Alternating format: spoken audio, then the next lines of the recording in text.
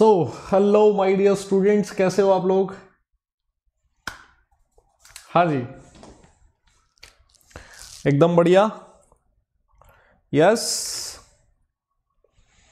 देखें कौन कौन लोग हैं भाई? Hello Sanju.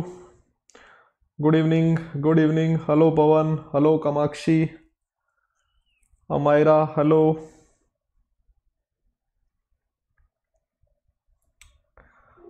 hello Archita, Satyam, Gunjan, Prabhat. हाँ जी। बताइए। बढ़िया हो एकदम।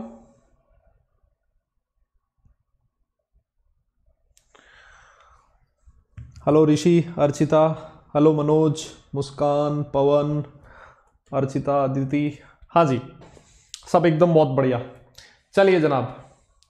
तो यार दादा लास्ट क्लास में हम लोगों ने ना हाइड्रोकार्बन स्टार्ट किया था। यह हाइड्रोकार्बन का पार्ट टू है है ना? और हाइड्रोकार्बन का एक और पार्ट होने वाला है। ठीक है? तीन पार्ट में हम लोग हाइड्रोकार्बन को खत्म करने वाले हैं। This is part two of the hydrocarbon ठीक है? चलिए स्टार्ट करें फिर। यस हाँ जी। स्टार्ट करें फिर। मैं बढ़िया हूँ यार। मैं बहुत ही बढ़िया हूँ। और मैं उम्मीद करता हूँ कि आप लोग भी एकदम मस्त होंगे। सबकी पढ़ाई बहुत अच्छे से चल रही होगी। जिसके भी एग्ज़ाम चल रहे हैं, उन लोगों का भी एग्ज़ाम वगैरह बहुत अच्छे से हो रहे होंगे। यस है ना? और आप लोग इस सीरीज़ को रेगुलर फॉलो भी कर रहे होंगे, ऐसी मुझे उम्मीद है। है ना? ये जो NCERT line by line crash course हम लोगों ने स्टार्ट किया, आप लोग इस सीरीज़ को कंटिन्यूसली फॉलो कर रहे होंगे। ठीक? इसका अगर आप प्लेलिस्ट देखना चाहते हैं, पूरी प्लेलिस्ट भी इस पर बनी हुई है, आप वो प्लेलिस्ट भी चेक कर सकते हैं, सारे वीडियोस आपको वहाँ पर मिल जाएँगे। ठीक है? चलो फिर मैं इंट्रोडक्शन वगैरह से स्टार्ट करता हूँ। आप तब तक वीडियो को लाइक करो फटाफट से और अपने यार दोस्तों के साथ फ्रेंड्स के साथ इस वीडियो का लिंक ज़रूर शेयर कर दो ताकि उनको आज हाइड्रोकार्बन में जो इंपॉर्टेंट टॉपिक पढ़ने वाले हैं एल्कीन्स जो हाइड्रोकार्बन में सबसे इंपॉर्टेंट चीज़ है, वो लोग भी इसको ज्वाइन कर लें। चलिए स्टार्ट करता हूँ फिर मैं इंट्रोडक्शन से। Myself Rahul Dudi I did my BTech from NIT Jaipur. I am the founder and director of Sankhyan educational institute Delhi और भाई सात लोग, सात साल से मैं स्टूडेंट्स को आई टी नीट के लिए प्रिपेयर कर रहा हूँ। This is my Telegram group Rahul Dudi chemistry eleventh at the rate Unacademy आप इस टेलीग्राम ग्रुप को ज्वाइन कर सकते हैं। ठीक है? मेरी सारी क्लासेस का नोटिफिकेशन मैं इसी पे डालता रहता हूँ। चाहे वो प्लस क्लास हो, या फिर स्पेशल हो, या फिर कोई यूट्यूब की मेरी क्लास हो। ठीक है? हाँ जी। एक और टेलीग्राम चैनल है यार Unacademy class eleven twelfth का। आप इसको भी ज्वाइन कर सकते हैं। अन अकेडमी सब्सक्रिप्शन के कुछ बेनिफिट्स हैं जो मैं आपको बताना चाहता हूँ। क्या क्या बेनिफिट्स हैं देखो जरा। आपको हर दिन डेली इंटरेक्टिव लाइव क्लासेस लेने को मिलती है यार अन अकेडमी प्लेटफॉर्म पे, जो प्लस प्लेटफॉर्म है उसकी मैं बात कर रहा हूँ। आपको जो भी डाउट्स होते हैं कंसर्न्स होते हैं, जो भी कोई क्वेश्चन समझ नहीं आता, वो अपने कमेंट सेक्शन में लिख के डाउट पूछ सकते हो, है ना? और क्वेश्चन के एक सेपरेट पोर्शन भी वहाँ पर दिया होता है। बहुत सारे लाइव क्वेश्चन पोल्स और क्विजेज आपको अन अकेडमी प्लेटफॉर्म पे मिल जाएगी। इसके अलावा बहुत सारी test series Unacademy platform पे अवेलेबल होती है। टेस्ट देना बहुत ज़रूरी होता है ना। पढ़ना चलो ठीक है, अच्छी बात है, पढ़ते हो। पर जब तक आप खुद को इवेल्युएट नहीं करोगे, तब तक आपको नहीं पता लगेगा कि आपकी कमियाँ कहाँ हैं और इवेल्युएशन में काम में आती है आपकी टेस्ट सीरीज़ और एक बहुत ही बढ़िया फीचर जिसका नाम है लाइव डाउट क्लियरिंग सेशंस ये भी आपको अन अकेडमी प्लेटफॉर्म पे लेने को मिलता है। ठीक? एक आइकॉनिक सब्सक्रिप्शन भी है अन अकेडमी का, आपकी परफॉर्मेंस को थोड़ा अच्छा बनाने के लिए, एक कदम आगे ले जाने के लिए, जिसमें आपको एक पर्सनल मेंटोर असाइन होता है, जो भी आपके डाउट्स क्वेश्चन क्वेरीज होती हैं, आप उनके साथ डिस्कस कर सकते हो। आपके जो पेरेंट्स होते हैं, वो एजुकेटर्स के साथ आपकी परफॉर्मेंस को डिस्कस कर सकते हैं। आपको वीकली रिपोर्ट मिल जाती है, एक वीक में जो भी आप क्वेश्चन जो भी डाउट्स पूछते हो, या फिर जो भी टेस्ट देते हो क्विजेज देते हो, सारी सब कुछ, ठीक है ना? और प्लस के सारे बेनिफिट इस केस में मिल जाते हैं। अब कोई पूछेगा, अब कोई पूछेगा कि, सर हम अन अकेडमी कैसे ज्वाइन करें? बहुत ही सिंपल है। क्या करना है? Unacademy learning app download करो, है ना? उसके बाद उसको इंस्टॉल करो ओपन करके अपना गोल चूज़ कर लो CBSE class eleven plus option पे क्लिक करो। ये विंडो खुलेगा आपके सामने। देखना जरा। इसमें एक तरफ़ मंथ लिखा होगा सब्सक्रिप्शन का, दूसरी तरफ़ प्राइजेस लिखे होंगे। आप खुद सोच के देखो, जो 12 महीने की सब्सक्रिप्शन प्राइजेस हैं वह है सिर्फ़ और सिर्फ़ तेरह हज़ार पाँच सौ रुपए। है ना? ये सारे सब्जेक्ट्स के लिए physics chemistry maths bio English economics सब कुछ। ये सारे सब्जेक्ट्स के लिए सिर्फ़ और सिर्फ़ तेरह हज़ार पाँच सौ पे करना है। कोई कहे सर मैं तो एक साथ पे नहीं कर सकता। कोई दिक्कत नहीं है। आप इसको इंस्टॉलमेंट्स में पे कर दो। है ना? इंस्टॉलमेंट्स में भी पे कर सकते हो। बट ध्यान दो ये वाला जो आपका 13,500 है ये आपको तभी मिलेगा जब आप मेरा कोड यूज़ करोगे आर डी टेन ठीक है? जब आप पे करने जाते हो ना तो उससे पहले कोड के बारे में आपसे पूछता है। कोड आपके सामने लिखा आर डी टेन देखो R D ten code use करने का ना एक और बेनिफिट भी है। क्या? वो सारे स्टूडेंट्स जो सब्सक्रिप्शन के लिए मेरा कोड यूज़ करते हैं, उनको मेरी तरफ़ से एक स्टडी किट बिल्कुल फ्री ऑफ़ कॉस्ट मिलता है। Yes yes? अब कोई बोलेगा, सर, ये स्टडी किट क्या है? यार, ये स्टडी किट में ना एक्चुअली बुक्स होती हैं। फिजिक्स केमिस्ट्री मैथ्स और बायो की, है ना? और बुक्स होती है इलेवंथ और ट्वेल्थ अगर आप जेई के लिए प्रिपेयर कर रहे हैं तो जेई की बुक्स मिलेंगी नीट की या फिर सीबीएसई की भी इसमें बुक्स होती हैं। वो आप मुझे बता सकते हैं, कौन सी बुक्स आपको चाहिए होती। है ये स्टडी किट देने के पीछे जो मेरा मोटिव है वो ये है कि आपके पास एक बहुत अच्छे क्वेश्चंस का कलेक्शन हो और आपको इधर उधर मार्केट में भागने की ज़रूरत ना पड़े क्योंकि जनरली मैं देखता हूँ कि लोग इधर उधर से बुक्स लाते हैं कोई कोई से भी उठा के लाते हैं है ना? इस स्टडी किट को आप देखोगे तो उसमें आपको 15,000 टू 20,000 क्वेश्चंस मिलेंगे। थ्योरी नोट सब कुछ। और सबसे बड़ी चीज़ सारे क्वेश्चन का सॉल्यूशन मैनुअल भी आपको इसके साथ ही मिल जाता है। तो ये एक बहुत ही बड़ा बेनिफिट आप लोगों के लिए। ठीक आइकॉनिक सब्सक्रिप्शन के प्राइजेस भी आपके सामने लिखे, आप यहाँ पर भी मेरा कोड लगा सकते हो। अगर आप कॉम्बो सब्सक्रिप्शन लेना चाहते हैं, जिसमें आपको एडिशनल टेन परसेंट डिस्काउंट होता है, जिसमें आप जेई और नीट की प्रिपरेशन भी सीबीए के साथ सीबीएसई के साथ कर सकते हो, वहाँ पर भी आप मेरा कोड यूज़ कर सकते हो। My code is R D ten इस कोड को याद रखो, है ना? एक और बहुत ही बढ़िया फीचर है अन ने आपके लिए लॉन्च किया है। क्या नाम दिया उसको? आस्क के डाउट फीचर जो भी कोई डाउट आए, उसकी फ़ोटो क्लिक करो अन अकेडमी ऐप पे जाओ आस्क के डाउट फीचर पे क्लिक करो फ़ोटो क्लिक करो उसकी। एक पर्टिकुलर क्वेश्चन को क्रॉप करो सब्जेक्ट चूज़ कर लो और आपके पास उस क्वेश्चन का पूरा डिटेल सॉल्यूशन थोड़ी देर में मिल जाएगा। है ना? अगर वहाँ से भी आपसे कोड पूछे तो आपको कोड लगा देना कौन सा? आर डी टेन ये कोड आपकी हेल्प करेगा हर कहीं पर। अगर आपको सब्सक्रिप्शन लेना हो, चाहे वो प्लस लेना हो, चाहे आइकॉनिक लेना हो, चाहे कॉम्बो सब्सक्रिप्शन लेना हो सब कुछ। वहाँ पर ये चीज़ आपकी यूज़ आ जाएगी। चलिए जरा। अब हम लोग अपना टॉपिक की बात करते हैं। हम लोग अपने टॉपिक की बात करेंगे और आज हमें एल्कीन स्टार्ट करना था। लो जी, आ जाओ। अब करो बातें बंद। बात करो जरा बंद। और अब पढ़ाई करो स्टार्ट हम्म। हाँ जी। अरे अब बा, बाकी बातें करो बंद। और पढ़ने पे आ जाओ। पढ़ाई करो स्टार्टअप तैयार हो सारे लोग? एक बार बताओ देखें। पढ़ने के लिए तैयार हो स्टार्ट करें? हाँ जी। बताओ ये अब अगर आप ये इधर उधर की बात बंद करोगे तभी पढ़ाऊँगा मैं। हम्म इधर उधर बात बंद करोगे तभी पढ़ाऊँगा भाई। यस हम्म। हाँ जी हाँ जी हाँ जी। स्टार्ट करें। बहुत बढ़िया। हाँ। देखो। हाँ। चलिए हाँ चलो स्टार्ट करते हैं फिर। देखो एल्कीन्स जो होती है एल्कीन्स के बारे में मेरे हिसाब से जो सबसे सिंपल चीज़ है है ना? एल्कीन जो होती है ना, उसमें आपको पता है, उसमें आपको पता है। सुनना जरा। एल्कीन में मुझे एक चीज़ बताओ। एल्कीन में मुझे एक चीज़ बताओ, जो कार्बन होगा उसका हाइब्रिडाइजेशन क्या होता है? बताइए जरा। सर इलेवेंथ क्लास का न्यू सेशन कब स्टार्ट होगा? इलेवेंथ का तो अभी टाइम लगेगा यार दादा। अभी तो टेंथ के एग्ज़ाम होने, उसके बाद स्टार्ट करेंगे। ठीक है? हम्म बताइए जरा। एल्कीन में कार्बन का हाइब्रिडाइजेशन क्या होगा? पहला क्वेश्चन मेरा आपसे ये है। What is the hybridization of carbon in alkene कौन बताएगा? बताओ, देखें, सबसे पहला क्वेश्चन ये है। हम्म कमाक्षी ने बताया भाई सबसे पहले। वेरी गुड बहुत ही बढ़िया।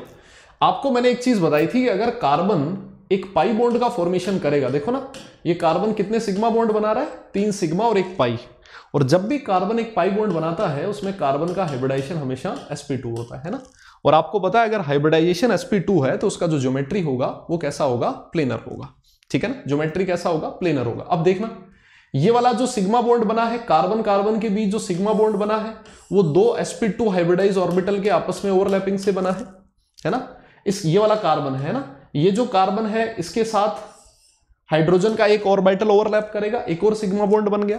इसी कार्बन के साथ एक और दूसरा हाइड्रोजन ओवरलैप करेगा, एक और सिग्मा बॉन्ड बन गया, और बिल्कुल इसी तरह से एक सिग्मा यहाँ बन गया और एक सिग्मा यहाँ बन गया, है ना? और आपको एक चीज़ ये भी बताई होगी, आपको ये चीज़ पता होगी हमने केमिकल बॉन्डिंग में ये चीज़ पढ़ी थी कि यार हाइब्रिडाइजेशन में जो पाई बॉन्ड जो ऑर्बिटल पाई बॉन्ड बनाने में काम में आता है ना, वो ऑर्बिटल कभी भी हाइब्रिडाइजेशन में पार्टिसिपेट नहीं करता है। है ना? इस चीज़ को हमेशा ध्यान रखो कि जो ऑर्बिटल पाई बॉन्ड बनाने में काम में आएगा, वो ऑर्बिटल कभी भी हाइब्रिडाइजेशन में पार्टिसिपेट नहीं करेगा। तो देखो कार्बन के पास तीन ही सिग्मा बॉन्ड बन रहे हैं, इसी वजह से कार्बन का हाइब्रिडाइजेशन sp2 हुआ है। है ना? Sp2 है है ना? एक एस और दो पी ऑर्बिटल ने ही हाइब्रिडाइजेशन में पार्टिसिपेट किया। तीसरा पी ऑर्बिटल क्योंकि वो पाई बॉन्ड बनाने में काम में आ रहा है तो वो हाइब्रिडाइजेशन में पार्टिसिपेट नहीं करेगा। बोलो जरा। ये चीज़ क्लियर है ना? हाँ भाई। अरे बताओ। ठीक है? अब इसके बाद नॉमन क्लेचर नॉमन क्लेचर में वापस नहीं करवाऊँगा, क्योंकि नॉमन क्लेचर पिछले वाले चैप्टर में मैं करवा चुका हूँ। जीओसी में मैं नॉमन क्लेचर करवा चुका हूँ तो इस नॉमन को मैं वापस नहीं करवाऊँगा, ठीक है? ये सारी चीज़ें आपको पता है। आइसोमेरिज्म भी हम लोगों ने लास्ट टॉप चैप्टर में पढ़ ली थी आइसोमेरिज्म और नॉमन ये दोनों चीज़ें हम लोगों ने लास्ट क्लास में पढ़ ली थी। मैं यहाँ पर एक नई आइसोमेरिज्म आपको पढ़ाने वाला हूँ, और जिसका नाम है ज्योमेट्रिकल आइसोमेरिज्म ये वाला टाइप देखो जरा। हाँ, अरे इधर देखो। ज्योमेट्रिकल आइसोमेरिज्म की मैं बात करने वाला हूँ। इसका मैं छोटा सा एग्ज़ाम्पल आपके सामने देता हूँ। मुझे बताना आपको एक चीज़ समझ आई कि नहीं आई। सुनना जरा। अरे इधर देखो। फालतू बात करवा लो तुमसे इतने, कितने भी। इधर समझ लो, जो चीज़ मैं पढ़ा रहा हूँ ना, वो समझ लो। हम्म और वीडियो लाइक करते रहो फटाफट से। जो जो लोग नए जुड़ते जा रहे हैं, वीडियो लाइक करते रहो भाई। अगर आपको चीज़ समझ आ रही है तो देखना। ये वाली एल्किन लिखी है मैंने। ठीक है ना? और इस एल्कीन का नाम क्या है? देखो, अगर आप इसका यूपीएससी नेम लिखोगे तो ये एल्कीन होगी ब्यूट टू इन क्या नाम होगा इसका? बोलो सारे लोग। ब्यूट टू इन ठीक है? अच्छा अब एक चीज़ सुनो। ब्यूट टू इन के मैं दो, देखना जरा, दो रिप्रेजेंटेशन में लिखने वाला हूँ। दो रिप्रेजेंटेशन लिखने वाला हूँ। एक तो ये और एक ये। देखना जरा। मुझे एक चीज़ बताओ, मुझे एक चीज़ बताओ, क्या इन दोनों एल्कीन का केमिकल फॉर्मूला सेम है क्या? फटाफट बताना। अरे बोलो फटाफट। क्या इन दोनों एल्कीन का केमिकल फॉर्मूला सेम है क्या? बताइए जरा। यस क्या इन दोनों एल्कीन का केमिकल फॉर्मूला सेम है क्या? अरे भाई दादा, आपसे पूछ रहा हूँ मैं। बिल्कुल सेम है। हाँ जी वेरी गुड बिल्कुल सेम है, दोनों एल्किन का केमिकल फॉर्मूला क्या एटम्स का जो अरेंजमेंट है, वो डिफरेंट है क्या? Yes yes? क्या एटम्स का अरेंजमेंट डिफरेंट है क्या? एटम्स का अरेंजमेंट डिफरेंट है ना? देखो, यहाँ पर क्या हुआ? C H three C H three double bond के एक ही साइड है है ना? और यहाँ पर C H three C H three double bond के ऑपोजिट साइड है। तो इन दोनों को मैं आइसोमर्स कहूँगा बिकॉज़ दोनों का केमिकल फॉर्मूला सेम है। बट आइसोमर्स में अगर एटम्स का three D arrangement different different हो, उनकी थ्री डायमेंशनल स्पेस में पोजिशन डिफरेंट डिफरेंट हो तो ऐसे आइसोमर्स को बोला जाता है स्टीरियो आइसोमर्स क्या कहा जाता है? स्टीरियो आइसोमर्स हम लोगों ने स्ट्रक्चरल आइसोमेरिज्म के बारे में पढ़ा था, अगर आपको याद हो तो। स्ट्रक्चरल आइसोमेरिज्म हम लोग कहते थे कि केमिकल फॉर्मूला सेम होना चाहिए बट स्ट्रक्चर्स डिफरेंट होनी चाहिए। और दूसरा टाइप हुआ करता था स्टीरियो आइसोमेरिज्म जिसमें हम लोग लिखते थे केमिकल फॉर्मूला सेम होता है बट जो एटम्स होते हैं, उनका थ्री में अरेंजमेंट डिफरेंट डिफरेंट होता है। तो ये जो दोनों होंगे, ये दोनों एक दूसरे के कौन से आइसोमर हुए? बताओ जरा। स्टीरियो आइसोमर्स क्या कहोगे इन दोनों को एक दूसरे के? Stereo isomers yes very good stereo isomers अब सुनो। स्टीरियो आइसोमेरिज्म में भी अगर कार्बन कार्बन के बीच या दो एटम्स के बीच रोटेशन रेस्ट्रिक्टेड हो, क्या हो? रोटेशन रेस्ट्रिक्टेड हो। ये एक नई सी टर्म है। एक होता है फ्री रोटेशन और एक होता है रेस्ट्रिक्टेड रोटेशन देखो, दोनों का डिफरेंस दोनों में डिफरेंस क्या है? सुनो। फ्री रोटेशन का मतलब ये है, अगर कार्बन कार्बन के बीच सिंगल बॉन्ड है, जैसे मान लो, ये वाला सिंगल बॉन्ड है है ना? सिग्मा बॉन्ड है तो मैं क्या कर सकता हूँ? एक कार्बन एटम को फिक्स रख के दूसरे कार्बन एटम को घुमा सकता हूँ, ऐसे। है ना? कार्बन कार्बन सिंगल बॉन्ड के अबाउट जो रोटेशन होता है, वो बिल्कुल फ्री होता है। अगर मैं एक एटम को फिक्स रख के दूसरे एटम को ऐसे घुमा सकता हूँ।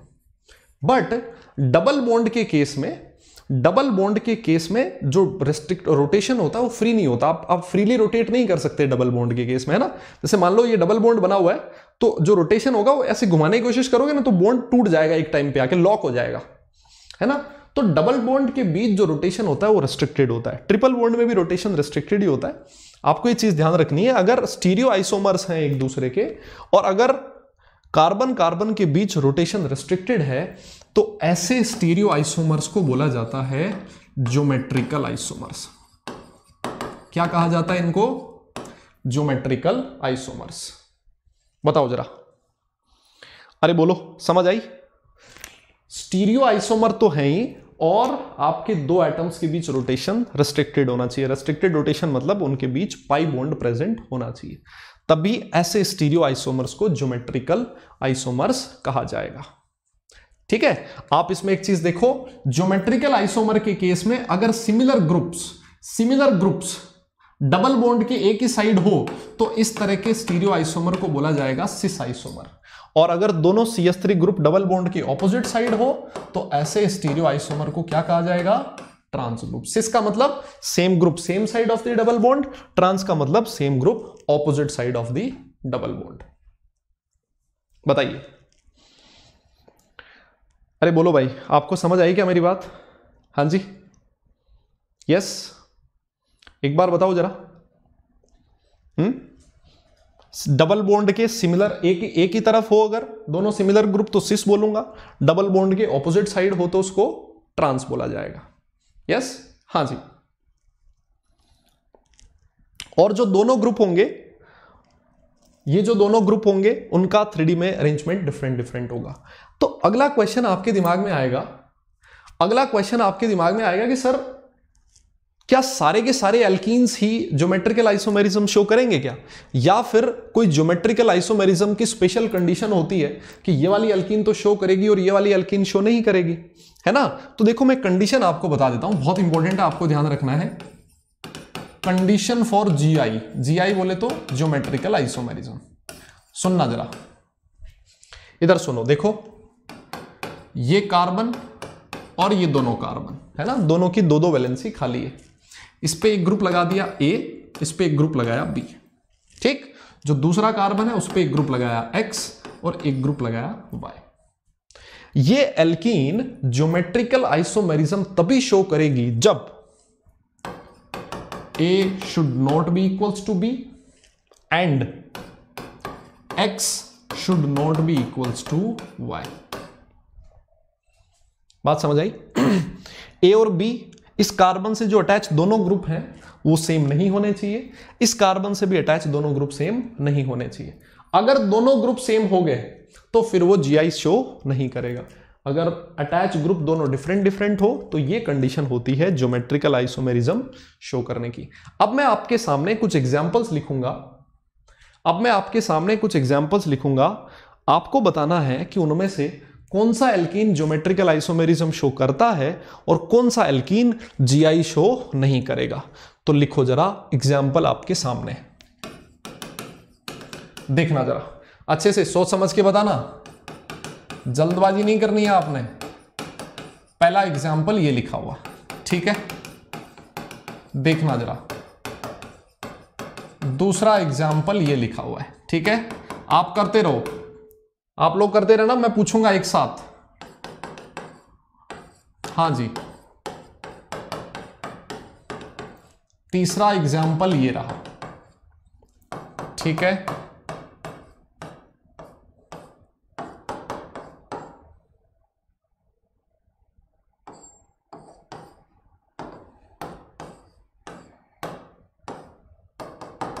चौथा एग्ज़ाम्पल ये रहा।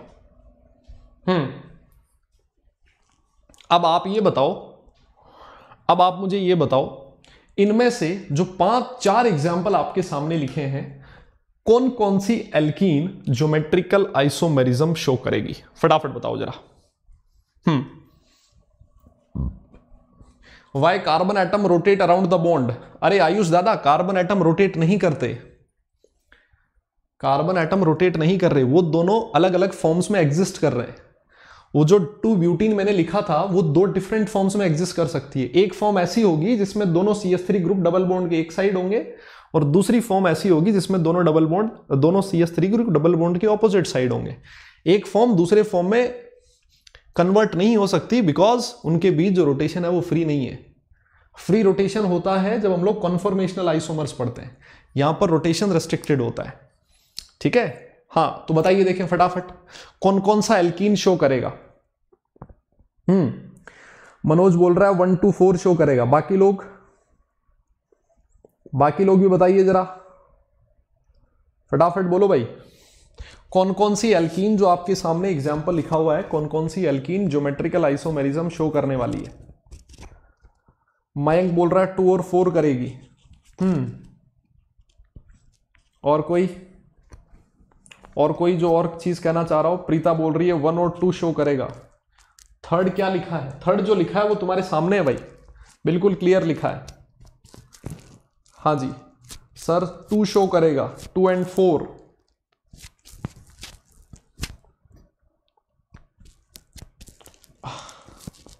देखो, मैं बता देता हूँ। अरे सुनो, अभी मैंने आपको कंडीशन बताई, अभी मैंने आपको कंडीशन बताई कि जीआई शो करने की कंडीशन ये है कि डबल बॉन्ड से डबल बॉन्ड वाले जो दोनों कार्बन है, उससे अटैच दोनों ग्रुप डिफरेंट डिफरेंट होने चाहिए। देखो जरा, यहाँ पर इस कार्बन से एक लगा हुआ हाइड्रोजन एक लगा हुआ है सी एच थ्री दोनों ग्रुप डिफरेंट डिफरेंट है। बट इस कार्बन से जो अटैच दोनों ग्रुप है, वो सेम है। भाई, इस कार्बन से तो दोनों ही हाइड्रोजन लगे हैं। तो ये तो कंडीशन ऑफ़ जीआई में आता नहीं ना है ये जीआई शो नहीं करेगा। अरे बताओ नेक्स्ट एग्ज़ाम्पल देखो, इस कार्बन से एक सी एस थ्री लगा है, एक हाइड्रोजन लगा है। इस कार्बन से भी एक हाइड्रोजन लगा और सी टू एच फाइव लिखा है। इस कार्बन से अटैच दोनों ग्रुप डिफरेंट है। इस कार्बन से अटैच दोनों ग्रुप डिफरेंट है। यही कंडीशन होती थी ज्योमेट्रिकल आइसोमेरिज्म की। ये जीआई शो करेगा। अब नेक्स्ट वाले के पास जाओ। इस कार्बन से एक सी एच थ्री लगा और एक पीएच लिखा है। पीएच बोले तो। अरे ये पीएच वो वाला पीएच नहीं है। ये पीएच इक्लिब्रियम वाला पीएच नहीं है। पीएच बोले तो फिनाइल ग्रुप है ये। ठीक है ना? पीएच मतलब फिनाइल ग्रुप है। और यहाँ इस कार्बन से दोनों ग्रुप सेम लगे हुए हैं तो ये जीआई शो नहीं करेगा। ठीक है? ये नहीं करेगा। अच्छा फोर के पास जाओ। इस कार्बन से साइक्लोब्यूटेन और साइक्लोब्यूटीन लगा है। दोनों ग्रुप डिफरेंट डिफरेंट है, बहुत अच्छी बात है। इस कार्बन से भी दोनों ग्रुप डिफरेंट डिफरेंट है। बस मज़ा ही आ लिया। ये भी ज्योमेट्रिकल आइसोमेरिज्म शो करेगा। अब भाई, इससे आसान शब्दों में, इससे आसान शब्दों में, इससे आसान स्टेटमेंट में और मैं नहीं बता सकता। सिंपल स्टेटमेंट जीआई कंडीशन ये है डबल बॉन्ड वाले जो कार्बन है उनसे अटैच दोनों ग्रुप डिफरेंट डिफरेंट होने ज़रूरी है। ठीक है? तभी वो जीआई शो कर सकता है। ऑल राइट right, बताओ जरा। आगे बढ़ूं क्या मैं अब? Yes yes? कितने लोगों का ठीक था देखें बताओ जरा। कितने लोगों ने सही किया है बताइए जरा। फ़र्स्ट क्यों शो नहीं करेगा? अरे मैडम फ़र्स्ट इसलिए शो नहीं करेगा क्योंकि इस कार्बन से जो दोनों ग्रुप लगे हुए हैं, वो सेम है। दोनों ग्रुप अलग अलग होने चाहिए। ठीक है? कितने लोगों का सही था? ठीक था तुम लोगों का? अरे वेरी गुड बहुत ही बढ़िया। हम्म। अरे रोहित दादा सर कोई ऐसा टॉनिक है जिसमें मैं 24 घंटे पढ़ लूँ? ओ मेरे भाई, अरे मैंने देख लिया तेरा क्वेश्चन ऐसा टॉनिक है है ना? अमल जानता अमल, है ना? वो नशा करके पढ़ ले, तभी पढ़ सकता है चौबीस घंटे। क्या पागल हो गया क्या भाई?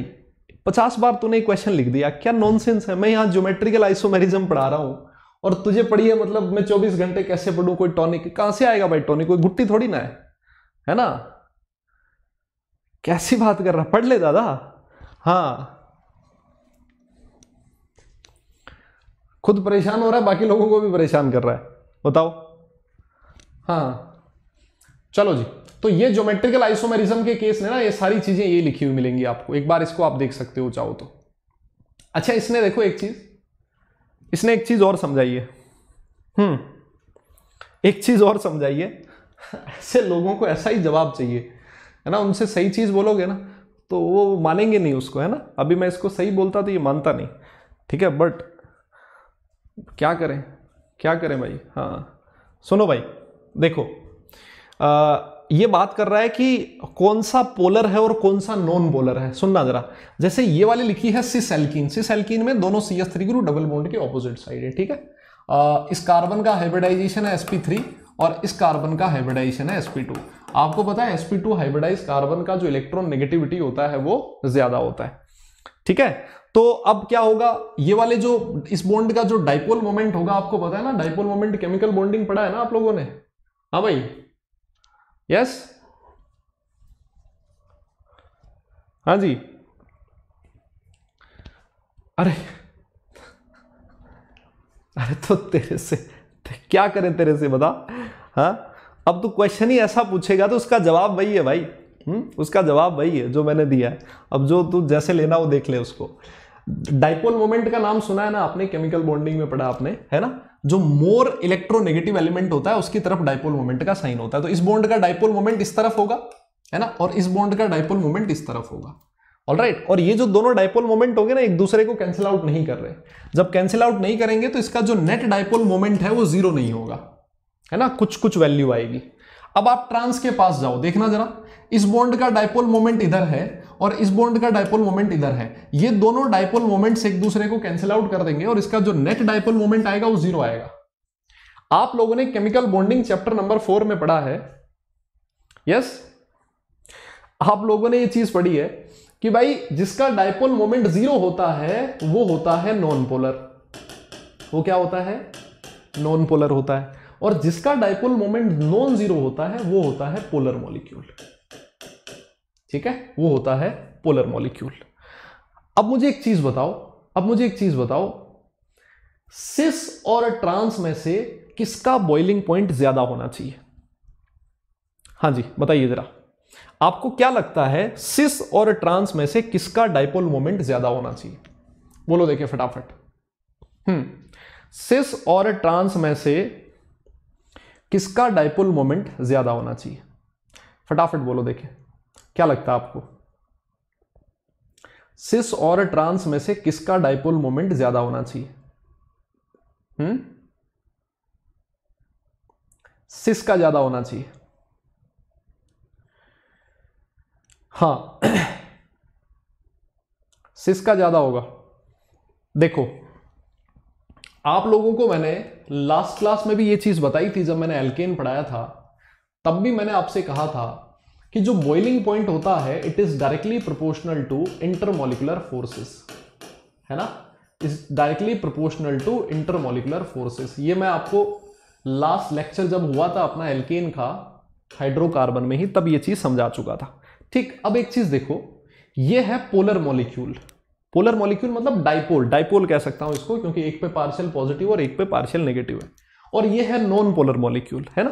तो आप मुझे एक चीज़ बताओ, दो डाइपोल के बीच, दो डाइपोल्स के बीच फोर्स ऑफ़ अट्रैक्शन ज़्यादा होता है, या फिर दो नॉन पोलर मॉलिक्यूल के बीच फोर्स ऑफ़ अट्रैक्शन ज़्यादा होगा? बताओ जरा। दो डाइपोल मॉलिक्यूल्स के बीच, दो पोलर मॉलिक्यूल के बीच फोर्स ऑफ़ अट्रैक्शन ज़्यादा होगा या दो नॉन पोलर मॉलिक्यूल के बीच फोर्स ऑफ़ अट्रैक्शन ज़्यादा होगा? क्या लगता है आपको? हम्म? हाँ जी। भाई, दो जो डाइपोल्स होते हैं, जो दो पोलर मॉलिक्यूल के होते हैं, उनके बीच फोर्स ऑफ़ अट्रैक्शन लगता है dipole dipole force of attraction और जो दो नॉन पोलर मॉलिक्यूल होते हैं, उनके बीच फोर्स ऑफ़ अट्रैक्शन का नाम होता है लंडन फोर्स है ना? लंडन फोर्स भी होता है और आप इसको डिस्पर्शन फोर्स भी कहते हो। और जो डिस्पर्शन फोर्स होता है, वो वीकेस्ट फोर्स ऑफ़ अट्रैक्शन है। डिस्पर्शन फोर्स कैसा है? वो वीकेस्ट फोर्स ऑफ़ अट्रैक्शन है, सबसे वीक टाइप का फोर्स ऑफ़ अट्रैक्शन है। तो भाई, दो नॉन पोलर मॉलिक्यूल के बीच जो लगने वाला फोर्स ऑफ़ अट्रैक्शन है, वो बहुत वीक है। डाइपोल डाइपोल के बीच लगने वाला फोर्स ऑफ़ अट्रैक्शन इसके कंपैरिजन में स्ट्रांग है। तो यहाँ इंटरमोलिकुलर फोर्सेस स्ट्रांग है और इंटरमोलिकुलर फोर्सेस स्ट्रांग होंगे तो बॉइलिंग पॉइंट भी ज़्यादा होगा। इसी वजह से कहा जाता है, इसी वजह से कहा जाता है कि जो सिस एल्केन होता है उसका डाइपोल मोमेंट ज़्यादा है, इसका डाइपोल मोमेंट कम है। This is polar molecule this is non polar molecule intermolecular forces में स्ट्रांग होंगे और बॉइलिंग पॉइंट भी सिस का ज़्यादा होगा। यस ऑल राइट अरे भाई, अब समझ आई मेरी बात? ठीक है ना? तो इस तरह से आप डाइपोल मोमेंट का पता लगा सकते हो। बॉइलिंग पॉइंट आपको इसी तरह से डिसाइड करना पड़ेगा। तो ये हमने कुछ प्रॉपर्टीज़ के बारे में देखा। एल्केन में ज्योमेट्रिकल आइसोमेरिज्म बहुत इंपॉर्टेंट है। ज्योमेट्रिकल आइसोमेरिज्म पे आप क्वेश्चन देखोगे, आपको मिलेगा, आपकी एनसीईआरटी में भी दिया। और अगर आप पीछे कोई कॉम्पिटेटिव एग्ज़ाम्स उठा के देखोगे ना तो उसमें भी आपको ये वाले क्वेश्चन मिल जाएँगे। ज्योमेट्रिकल आइसोमेरिज्म के सिंपल क्वेश्चन पूछ लेता है कि कौन ज्योमेट्रिकल आइसोमेरिज्म शो करेगा और कौन सा नहीं करेगा। ठीक है। अब मैं आगे बढ़ रहा हूँ। है ना? अब मैं आगे बढ़ता हूँ। और बात करते हैं प्रिपरेशन की। प्रिपरेशन ऑफ़ एल्कीन्स एल्कीन की प्रिपरेशन सबसे पहले मैं करूँगा एल्काइन से। एल्काइन से एल्कीन बनाएँगे। देखो, दो मेथड है एल्काइन से एल्कीन बनाने के। ये दोनों मेथड आपके सामने लिखे हुए। सुनना जरा। एल्काइन की रिएक्शन एल्काइन में हाइड्रोजन का एडिशन करवाओ। पीडीसी के बीच, ये सी जो है ना, यहाँ पे बता रहा है चारकोल को। इसको बोला जाता है पैलेडाइज्ड चारकोल।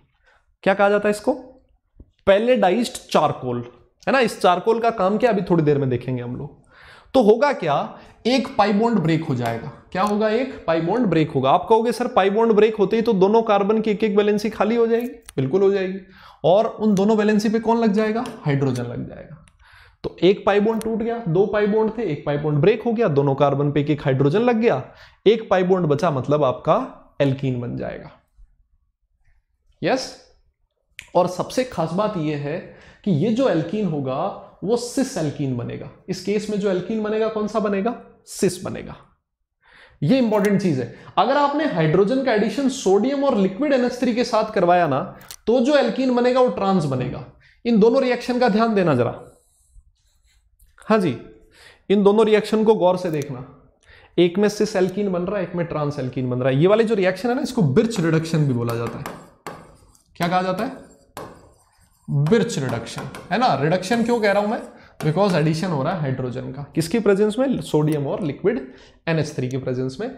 बिर्च रिडक्शन बोला जाएगा और बिर्च रिडक्शन के केस में ट्रांस एल्कीन बनता है। अब यहाँ पर जो इंपॉर्टेंट चीज़ है, वो आपके सामने ये लिखी हुई है।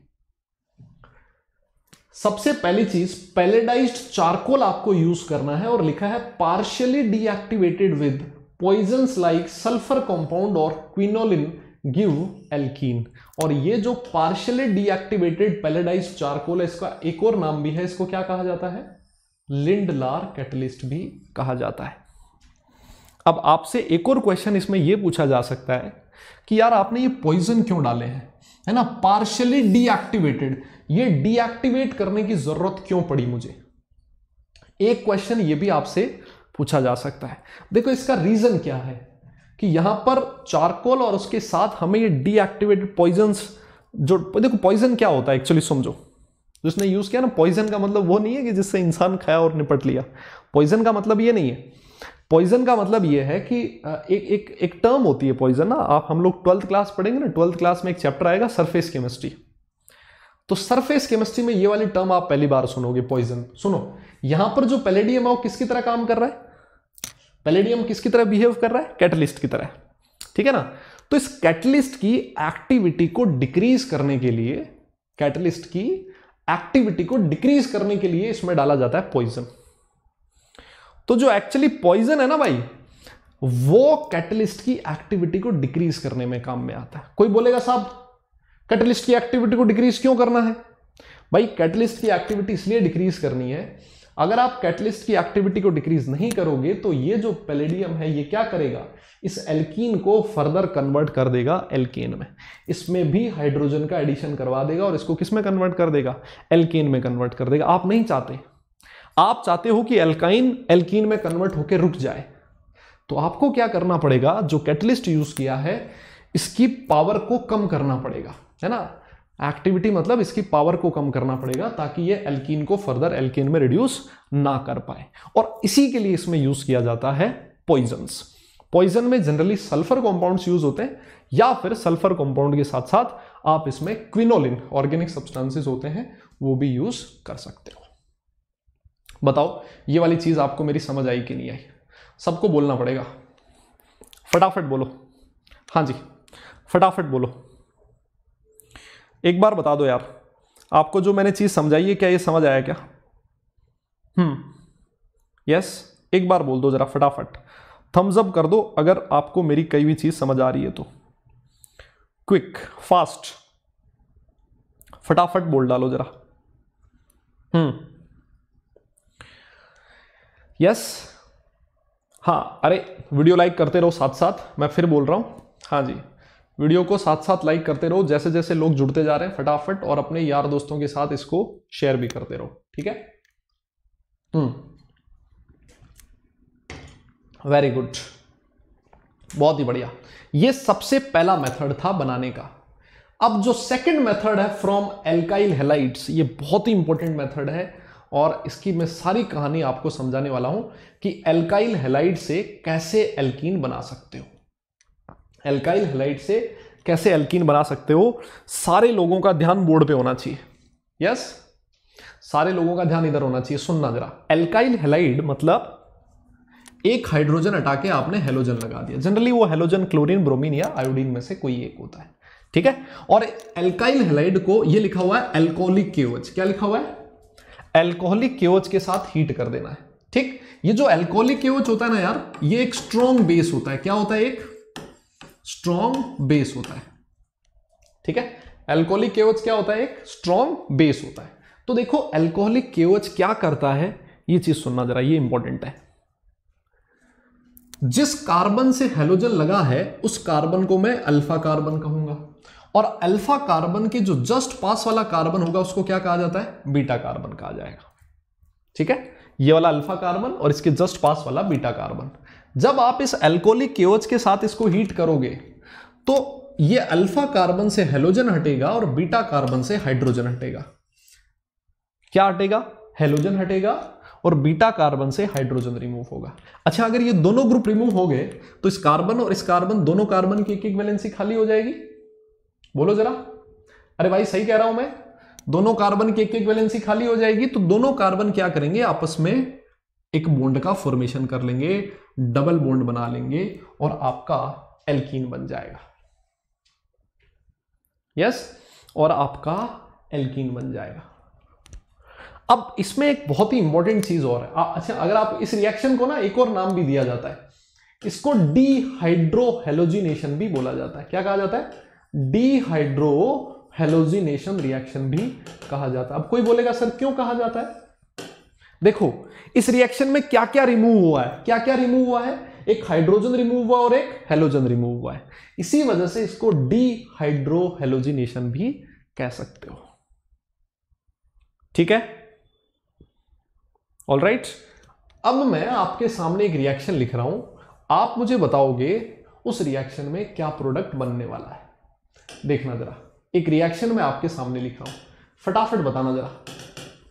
C H three C H two C H two B R इसको मैंने एल्कोहलिक केओच के साथ हीट कर दिया। आपको बताना है इसमें मेजर प्रोडक्ट कौन सा बनेगा। ठीक है? एक और रिएक्शन भी लिख देता हूँ लगे हाथ। C H three C H C L C H three इसको एल्कोहलिक केओच के साथ मैंने हीट कर दिया। बताइए दोनों केस में क्या प्रोडक्ट बनने वाले हैं। फटाफट बोलो देखें। देखता हूँ कौन सबसे पहले जवाब देता है इसका। क्विक फास्ट हाँ जी। फटाफट बोलो देखें। फटाफट। टाइमिंग है म्यूज़िक हाँ जी। अरे फटाफट बोलो क्या प्रोडक्ट बनने वाला है इस केस में? दोनों केसेस में आपको प्रोडक्ट्स के बारे में बताना है। हम्म। कोई भी। एल्कोहलिक बेस बनेगा। अच्छा जी, समीर बोल रहा है C H three C H two double bond C H two अच्छा प्रोपीन और कोई? और कोई जो कुछ और कहना चाह रहा हो, कुछ और प्रोडक्ट बनेगा? हाँ जी। एक बार सोच समझ के जवाब दो जरा। दोनों केसेस में प्रोडक्ट बताने हैं आपको। प्रोपीन और इथीन बनेगा। अच्छा जी।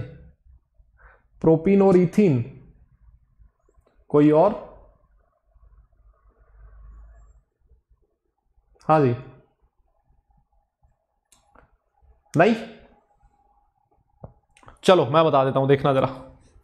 देखो क्या बनेगा। जिस कार्बन से हेलोजन लगा है, वो है अल्फ़ा कार्बन अल्फ़ा कार्बन का पड़ोसी बीटा कार्बन अभी मैंने कहा, यहाँ से बी आर हटेगा और बीटा कार्बन से हाइड्रोजन हटेगा। और दोनों कार्बन के बीच डबल बॉन्ड बन जाएगा। लो जी, ये बन गया। C H three C H double bond C H two क्या नाम है इसका? भाई मैंने जहाँ तक पढ़ा है इसको प्रोपीन बोला जाता है। क्या नाम हो गया इसका? प्रोपीन ठीक है? अच्छा इसके पास जाओ। आप कहोगे सर ये है अल्फ़ा कार्बन अल्फ़ा का पड़ोसी बीटा ये रहा बीटा आप कहोगे सर ये वाला भी बीटा है? बिल्कुल बीटा है इसको कौन रोकेगा? दो दो बीटा कार्बन आ गए। अब बात ये आएगी भाई कंफ्यूजन होगी जनता में। कोई ये बोलेगा भाई ये वाला बीटा हटाएँ कि ये वाला बीटा हटाएँ? देखो आपकी श्रद्धा है आपकी मर्ज़ी है आपको कौन सा बीटा हटाना है। क्यों? क्योंकि कोई सा भी बीटा हटा लो प्रोडक्ट सेम ही बनना है यार। ऐसी क्या बात है? यहाँ से क्लोरीन हटाओ, ये वाला हाइड्रोजन हटाओ। देखो, इन दोनों के बीच डबल बॉन्ड लगेगा ना। C H three C H double bond C H two बनेगा। और अगर आपने ये वाला हाइड्रोजन हटाया और ये वाला क्लोरीन हटाया तो प्रोडक्ट ये वाला बनेगा। अरे, दोनों प्रोडक्ट एक ही तो बात हो गई। तो आप कोई सा भी बीटा हाइड्रोजन हटा लो इस केस में प्रोडक्ट पे कोई फ़र्क नहीं पड़ेगा। दोनों केसेस में आपका प्रोडक्ट सेम ही बनने वाला है। ठीक है? तो एल्कोहलिक केवच के साथ हमेशा आपको डीहाइड्रोहेलोजिनेशन करना होता है ना? डीहाइड्रोहेलोजिनेशन मतलब हाइड्रोजन और हेलोजन दोनों को हटाना होता है। और ये एक बीटा एलिमिनेशन रिएक्शन का एग्ज़ाम्पल है, क्योंकि बीटा पोजिशन से आपका हाइड्रोजन रिमूव हो रहा है। That's why this reaction is known as beta halogenation अच्छा फिर उसके बाद अगली रिएक्शन जो लिखी है प्रिपरेशन में, वो है फ्रॉम विसिनल डाइहेलाइड भाई, जो अभी मैंने आपको चीज़ बताई है ना यार ये डीहाइड्रोहेलोजिनेशन एल्कोहलिक केवच के साथ हीट करने वाली रिएक्शन ये बहुत इंपॉर्टेंट है, मैं फिर कह रहा हूँ आपसे। हम्म मैं फिर कह रहा हूँ, वो बहुत इंपॉर्टेंट रिएक्शन है, उसको अच्छे से देख लेना। अच्छा फिर उसके बाद विसिनल डाइहेलाइड एक टर्म यूज़ हुई है विसिनल डाइहेलाइड विसिनल डाइहेलाइड का क्या मतलब है, सुनो। दो एडजासेंट कार्बन एटम्स पे अगर हेलोजन जुड़े हो, है ना, जैसे ये वाले दोनों एडजासेंट कार्बन एटम है ना, उस पर अगर हेलोजन लगा हो तो उसको विसिनल डाइहेलाइड कहा जाता है। है ना? देखो, एक होता है विसिनल डाइहेलाइड और दूसरा होता है जेम डाइहेलाइड विसिनल का मतलब दो एडजासेंट कार्बन पे दो हेलोजन लगे हुए हैं और आपका जेम डाइहेलाइड का मतलब एक ही कार्बन से दो हेलोजन लगे हुए हैं। तो विसिनल डाइहेलाइड की रिएक्शन करवानी है जिंक के साथ। ठीक है? तो यहाँ से क्या होता है देखो, जिंक के साथ ये वाला बी हटेगा और ये वाला बी हट जाएगा। दोनों कार्बन से एक एक ग्रुप हट गया दोनों कार्बन की एक एक वैलेंसी खाली होगी, दोनों के बीच डबल बॉन्ड बन जाएगा। C H two double bond C H two और ये जो बी आर होगा, वो जिंक के साथ चला जाएगा Z N B R two बन जाएगा। बिल्कुल सिमिलर चीज़ यहाँ लिखी है, देखो। इस कार्बन से बी आर हटेगा, यहाँ से भी बी आर हटेगा। इन दोनों कार्बन के बीच डबल बॉन्ड बन गया प्रोपीन बन गया और साथ में Z N B R two बाहर निकल जाएगा। ये तो बहुत ही सिंपल रिएक्शन है फ्रॉम विसिनल डाइहेलाइड्स हाँ जी, बोलो जरा। समझ आई रिएक्शन आपको? यस हाँ जी। अरे, बोटो जरा, बोलो जरा। क्लियर है ये रिएक्शन सबको? अरे, बोलो बोलो बोलो, देखें फास्ट आगे बढ़ू मैं? ठीक है।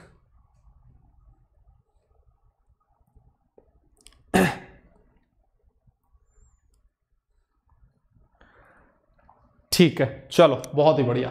अब इसके बाद प्रिपरेशन में अगली एक और रिएक्शन पढ़ते हैं, और रिएक्शन का नाम है from alcohols by acidic dehydration देखो यार डिहाइड्रेशन का मतलब क्या होता है? वाटर का मॉलिक्यूल रिमूव होना। यस और एसिडिक डिहाइड्रेशन क्यों बोल रहा हूँ मैं? हा? मैं एसिडिक डिहाइड्रेशन क्यों बोल रहा हूँ? क्योंकि ये जो डिहाइड्रेशन होगा वाटर का जो मॉलिक्यूल बाहर निकलेगा, वो एक एसिड की प्रेजेंस में निकलेगा। That's why this reaction is known as acidic dehydration of alcohol देखो रिएक्शन क्या होती है? रिएक्शन फटाफट मैं आपको बता देता हूँ। रिएक्शन आपके सामने ये लिखी हुई है। देखना जरा। रिएक्शन आपके सामने ये लिखी हुई है। ये एक एल्कोहल लिखा है है ना? दिस इज़ एल्कोहल फिर यहाँ से सुनो। जिस कार्बन से OH ग्रुप लगा है, उस कार्बन को अल्फ़ा कार्बन कहूँगा। अल्फ़ा के जो जस्ट पास वाला कार्बन होगा, उसको मैं बीटा कार्बन कहूँगा। एसिड की प्रेजेंस में आपको उसको हीट करना है। तो अल्फ़ा कार्बन से OH ग्रुप हटेगा और बीटा कार्बन से हाइड्रोजन हटेगा। यहाँ से वाटर का मॉलिक्यूल बाहर निकल गया, इसी को डिहाइड्रेशन बोला जाएगा। ठीक है? और क्योंकि दोनों कार्बन से एक एक ग्रुप बाहर हट गया है, बाहर चला गया है एलिमिनेट हो गया है, इन दोनों कार्बन की एक एक वैलेंसी खाली हो गई है तो ये दोनों कार्बन आपस में एक दूसरे के साथ मिलके क्या बना लेंगे? डबल बॉन्ड बना लेंगे। ठीक है? और डबल बॉन्ड से बन जाएगा इथिन ठीक? हाँ जी। रिएक्शन तो मेरे हिसाब से बहुत ही क्लियर है। इसमें भी बीटा एलिमिनेशन ही हो रहा है है ना? बीटा पोजीशन से हाइड्रोजन हट रहा है। चलो, अगर आपको समझ आया है तो मैं एक और रिएक्शन आपके सामने लिखता हूँ। आप मुझे बताइएगा उसमें क्या प्रोडक्ट बनने वाला है। सुनना जरा। रिएक्शन एक बार फिर लिख देता हूँ। देखना। C six H five C H two C H two O H इसको आपने H प्लस के साथ हीट कर दिया। आपको बताना है क्या प्रोडक्ट बनेगा। ठीक है? C H three C H two C H two O H इसको आपने H प्लस के साथ हीट कर दिया। बताना है क्या प्रोडक्ट बनेगा। ठीक है? और एक और reaction C H three C H O H C H three ठीक है जी? इसको भी आपने H प्लस के साथ हीट कर दिया। बताइए इस केस में क्या प्रोडक्ट बनेगा। तीन रिएक्शन आपके सामने लिखी है। तीनों का प्रोडक्ट बता दो जरा। ठीक है। सर, आज खत्म करेंगे। नहीं, आज खत्म नहीं हो पाएगा यार।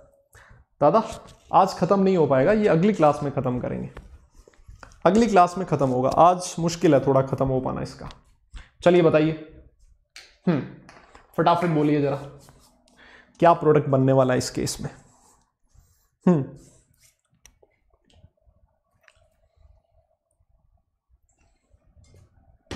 हम्म। फटाफट। ऑक्टीन बनेगा। अरे, ऑक्टीन कहाँ से आ गया? फ़र्स्ट के लिए प्रदीप ने फ़र्स्ट का बिल्कुल सही बताया। वेरी गुड बाकी लोग, बताओ जरा। हम्म। हाँ जी। प्रोपीन फोर टू बनेगा ओके? हम्म। चलो मैं बता देता हूँ। मैं बता देता हूँ।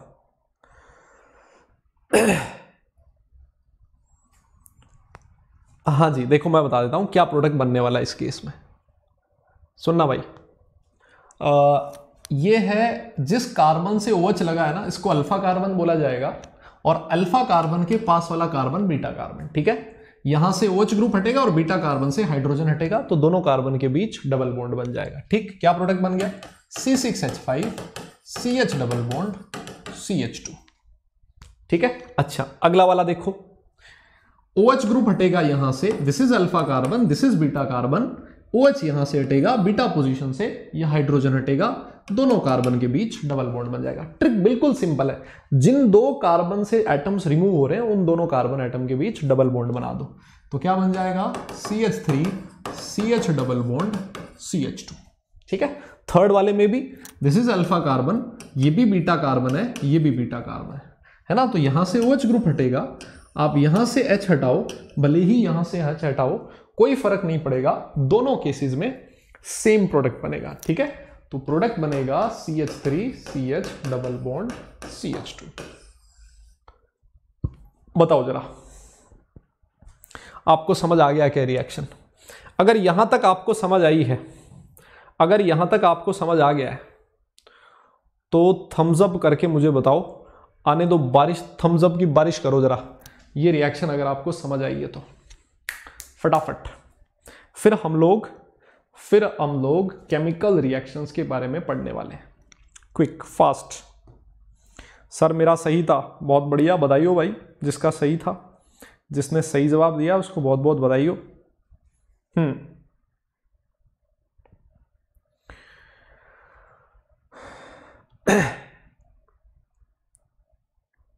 समझ आ गया। बहुत ही बढ़िया। वेरी गुड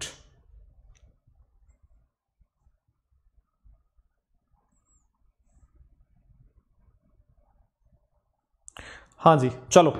अब हम लोग इनकी केमिकल रिएक्शन के बारे में पढ़ लेते हैं। विसिनल डाई हेलाइड क्या होता है? अरे विसिनल डाई हेलाइड का मतलब अभी बताया तो था यार क्या कर रहे हो ऐसे विसिलर डाई हेलाइड का मतलब क्या है? जैसे मान लो आ, ऐसा कुछ लिखा है ना ये वाला देखो जरा बी आर लिखा है बी आर लिखा है। दो बिल्कुल एडजासेंट कार्बन एटम से अगर दो हेलोजन जुड़े हो ना तो उसको विसिनल डाईहेलाइड बोला जाएगा। ठीक है ना? इसको क्या कहा जाएगा? Vicinal dihalide. और अगर मान लो एक ही कार्बन से दो हेलोजन जुड़े हो ना आगे देखो काम आएगा ये चीज़ भी। एक ही कार्बन से दो हेलोजन लगे हुए ना तो इसको क्या बोला जाता है? Gem dihalide. है ना? इसको क्या कहा जाता है? Geminal halide. ये हम लोग ट्वेल्थ क्लास में पढ़ेंगे। ट्वेल्थ क्लास में ऑर्गेनिक का फ़र्स्ट चैप्टर है। उसमें हम लोग ये चीज़ पढ़ने वाले हैं।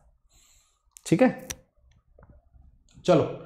आ, सबसे केमिकल रिएक्शंस में सबसे पहले हम लोग एडिशन ऑफ़ डाई हाइड्रोजन के बारे में पढ़ेंगे। ये हम लोग एल्किन में पढ़ चुके हैं। एल्कीन में, सॉरी। जैसे मान लो ये एल्किन है और इस पर आपने हाइड्रोजन का एडिशन करवा दिया, किसकी प्रेजेंस में? पीटी पीडी या फिर एनआई की प्रेजेंस में। तो क्या होगा? पाइबोन टूटेगा और दोनों कार्बन पे एक एक हाइड्रोजन लग जाएगा। C H three C H two C H three बन जाएगा। ठीक है? तो ये रिएक्शन तो मेरे हिसाब से कोई दिक्कत नहीं है। पहले रिएक्शन पढ़ चुके हैं, पहले ही। Addition of halogens addition of halogens ये भी बहुत सिंपल रिएक्शन है। देखो क्या होता है। ये है एल्कीन ठीक है? और इस पे आपने हेलोजन का एडिशन करवाना है। ध्यान देना है किसकी प्रेजेंस में? सॉल्वेंट यूज़ करना है CCl4 अगर आपने वाटर यूज़ यूज़ किया ना सॉल्वेंट तो प्रोडक्ट अलग हो जाएगा। क्या प्रोडक्ट बनेगा? उसको हम लोग इलेवंथ क्लास में नहीं पढ़ेंगे। उसको ट्वेल्थ क्लास में पढ़ेंगे, ठीक है? एल्कीन पे हेलोजन का एडिशन करवा दिया। यहाँ पर B R two C L two आप यूज़ कर सकते हो। सी सी एल फोर की प्रेजेंस में तरीका बिल्कुल आज भी वही सेम है। ये जो पाई बॉन्ड है कार्बन कार्बन के बीच, इस पाई बॉन्ड को ब्रेक करो। जैसे पाई बॉन्ड ब्रेक होगा, दोनों कार्बन की एक वैलेंसी खाली हो जाएगी और उस वैलेंसी पे क्या लगा दो? हेलोजन लगा दो। उस पर क्या लगा दो? हेलोजन लगा दो। बस रिएक्शन इतनी सी है। है ना? तो बहुत ही सिंपल रिएक्शन है ये भी। डबल बॉन्ड तोड़ा, दोनों कार्बन की वैलेंसी खाली हुई, उस पर आपने हेलोजन लगा दिया। देखो, शायद इसका एग्ज़ाम्पल भी दिया हुआ हो कोई। ये लिखा हुआ सुनना जरा। ये लिखा हुआ। इसकी बी आर टू के साथ रिएक्शन करवाई पाई ब्रेक करो, दोनों कार्बन पे बी आर बी आर लगा दो। ठीक है? यहाँ पर भी देखो, ये वाला बॉन्ड ब्रेक करो क्लोरीन क्लोरीन लगा दो, दोनों कार्बन पे। ठीक है? हम्म। अच्छा एक चीज़ मुझे और बताओ। एक चीज़ मुझे और बताओ आप लोग। जो ब्रोमीन सॉल्यूशन होता है ना ब्रोमीन सॉल्यूशन उसका कलर कैसा होता है, अगर आपको पता हो तो। जो ब्रोमीन सॉल्यूशन होता है ना, उसका कलर कैसा होता है? हम्म। ब्रोमीन सॉल्यूशन का कलर कैसा होता है, कौन बताएगा?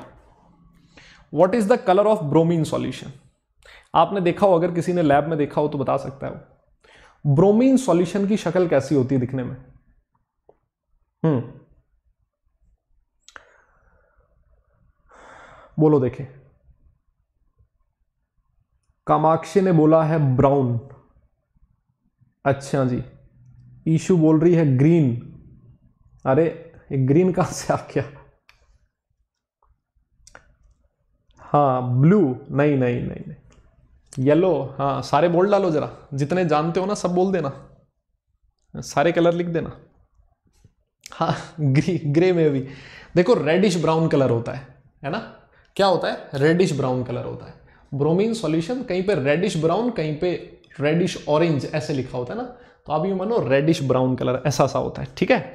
अच्छा मैं आपको क्या करूँ? एक एक सब्सटेंस दे दूँ, और मैं आपसे कहूँ कि पता लगाओ, इस सब्सटेंस के अंदर अनसेचुरेशन प्रेजेंट है या फिर नहीं है। क्या कहा? मेरा क्वेश्चन सुनो जरा। आपसे ये कहता है क्वेश्चन कि एक सब्सटेंस दे दिया, और मैंने आपसे कहा, भाई बता, इसके अंदर अनसेचुरेशन प्रेजेंट है कि नहीं? सबसे पहली चीज़ तो अनसेचुरेशन पता है आपको। इसमें पाई बॉन्ड प्रेजेंट है या नहीं? है ना? डबल बॉन्ड या फिर ट्रिपल बॉन्ड प्रेजेंट है या नहीं है? कैसे पता लगाओगे? बहुत ही सिंपल मेथड बहुत ही इंपॉर्टेंट लैब में भी ये रिएक्शन बहुत काम आती है और थ्योटिकली भी ये वाला चीज़ बहुत पूछी जाती है। क्या करोगे देखो? आप क्या करोगे? जो आपको सब्सटेंस दिया गया, जिसका पता लगाना है, उसकी रिएक्शन करवा दो ब्रोमीन सॉल्यूशन के साथ। क्या करो? ब्रोमीन सॉल्यूशन के साथ। ब्रोमीन सॉल्यूशन है रेडिश ब्राउन कलर का। अगर उस सब्सटेंस में अनसेचुरेशन प्रेजेंट है, अगर उसमें डबल या फिर ट्रिपल बॉन्ड प्रेजेंट है तो जो रेडिश ब्राउन कलर है ना, वो फेड हो जाएगा। है ना, उसका कलर वो कन्वर्ट हो जाएगा किसमें कलरलेस में। अगर कलरलेस हो गया, उसका कलर चेंज हो गया, वो वो कलर अगर उसका फेड हो गया तो आप श्योर हो जाओगे कि आपका जो कंपाउंड था, जिसके साथ आपने ब्रोमीन सॉल्यूशन की रिएक्शन करवाई थी, उसमें अनसेचुरेशन प्रेजेंट होगा। और अगर मान लो उसके कलर पे कोई फ़र्क नहीं पड़ता, है ना, उसका कलर बिल्कुल वैसा ही रहता है तो आप बोल दो कि भाई, इस सब्सटेंस के अंदर कोई अनसेचुरेशन प्रेजेंट नहीं था, है ना, वो बिल्कुल आज भी वैसा ही है। उसके अंदर कोई अनसेचुरेशन नहीं था, उसमें कार्बन कार्बन के बीच सिर्फ़ और सिर्फ़ सिंगल बॉन्ड ही प्रेजेंट था। बताओ, ये वाला कॉन्सेप्ट समझ आया क्या आपको? यस हाँ जी। बोलो जरा। ठीक है जी? सही कह रहा हूँ मैं? तो होता क्यों ऐसा? क्योंकि जो बी आर टू है, वो स्पाई बॉन्ड के साथ रिएक्ट कर लेता है। अगर यहाँ डबल या फिर ट्रिपल बॉन्ड नहीं होगा तो ब्रोमीन सॉल्यूशन इसके साथ रिएक्ट नहीं कर पाएगा, उसका कलर वैसा ही रहेगा। और अगर उसमें डबल या फिर ट्रिपल बॉन्ड प्रेजेंट होगा तो ब्रोमीन सॉल्यूशन उसके साथ रिएक्ट कर लेगा और उसका जो कलर होगा, वो खत्म हो जाएगा, वो फेड हो जाएगा। तो ये रिएक्शन बहुत इंपॉर्टेंट होती है। कई बार ऐसे पूछा जाता है कि which of the following reaction can be use as a test for unsaturation तो उसमें ये ब्रोमीन सॉल्यूशन वाली रिएक्शन आपको पता होनी चाहिए। ठीक है जी? चलिए अब आगे बढ़ेंगे। और one of the most important reactions जो ऑर्गेनिक केमिस्ट्री की है आपकी, उसमें ये वाली रिएक्शन है। आप कोई सा भी एग्ज़ाम दे दो, है ना? आपकी स्कूल का एग्ज़ाम हो या फिर कोई सा भी एग्ज़ाम हो, उसमें ये क्वेश्चन ज़रूर पूछा जाएगा। ये क्वेश्चन ज़रूर पूछा जाएगा addition of hydrogen halides hydrogen halide मतलब H X generally H C या फिर एच आई होता है। अब सुनो जरा, क्या होता है इस रिएक्शन में? रिएक्शन बहुत ही सिंपल है। क्या करना है? सबसे पहले मैं एडिशन ऑफ़ एच एक्स करवाऊँगा सिमेट्रिकल एल्कीन पे। सिमेट्रिकल एल्कीन मतलब जिसमें पाई बॉन्ड के अराउंड सिमेट्री देखो ना, इस पाई बॉन्ड के दोनों साइड सिमिलर ग्रुप लगे हुए हैं। इसमें भी पाई बॉन्ड के दोनों तरफ़ सिमिलर ग्रुप लगे हुए तो ये भी सिमेट्रिकल एल्कीन है, ये भी सिमेट्रिकल एल्कीन है। ठीक है? एच के साथ रिएक्शन करवानी है। क्या होगा? कार्बन कार्बन के बीच जो पाई बॉन्ड है, वो ब्रेक हो जाएगा। सिंपल रिएक्शन पाई बॉन्ड तोड़ो। पाई बॉन्ड ब्रेक होते ही दोनों कार्बन की एक एक वैलेंसी खाली हो जाएगी और एक वैलेंसी पे हाइड्रोजन लगा दो, दूसरी वैलेंसी पे बीआर लगा दो। तो देखो इसने इस पे हाइड्रोजन लगाया है और इस पर बी लगाया है। ये प्रोडक्ट बन गया। एल्काइल हेलाइड बन गया। ये वाला भी सिमेट्रिकल एल्कीन है। पाई बॉन्ड तोड़ो। एक कार्बन पे हाइड्रोजन लगा दो और दूसरे कार्बन पे ब्रोमीन लगा दो। अब कोई क्वेश्चन ये भी पूछ सकता है, कोई क्वेश्चन ये भी पूछ सकता है, सर, किस कार्बन पे हाइड्रोजन लगेगा, किस कार्बन पे ब्रोमीन लगेगा, ये हमें कैसे पता लगेगा?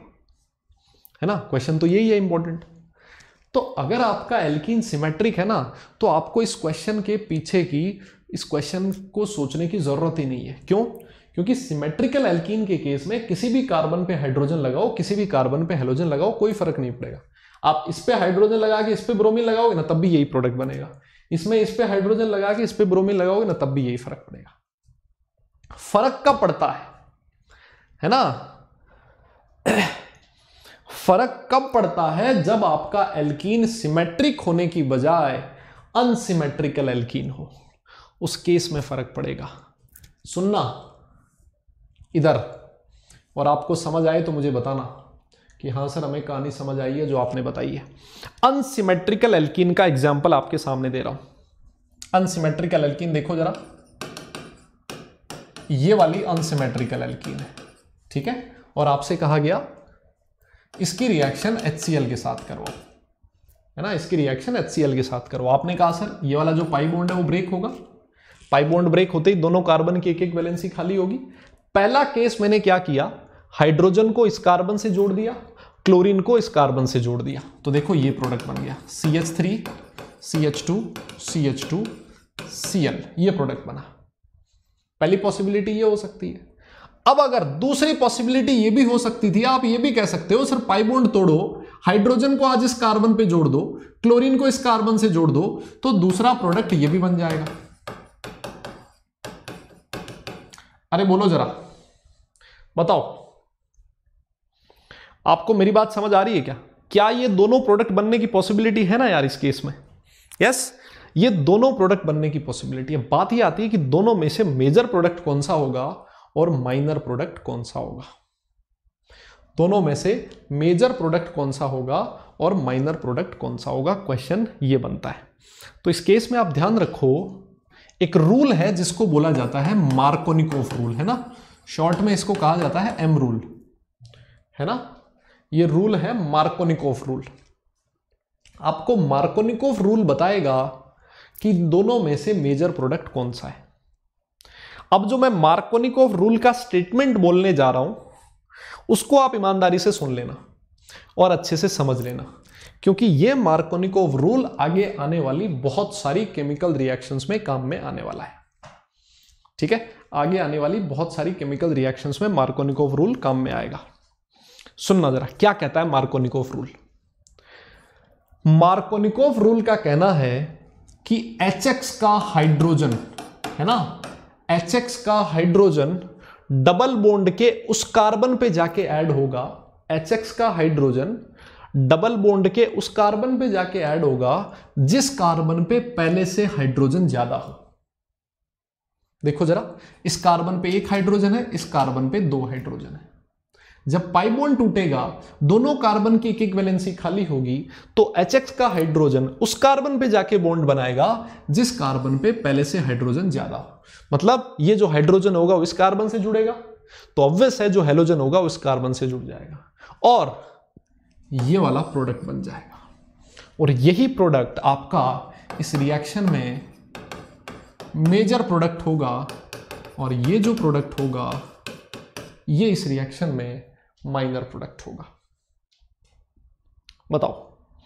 मार्कोनिकोव रूल का स्टेटमेंट क्लियर है क्या आपको? बोलिए जरा।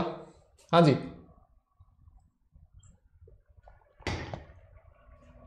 अरे बताओ। मार्कोनिकोव रूल स्टेटमेंट क्लियर है सबको?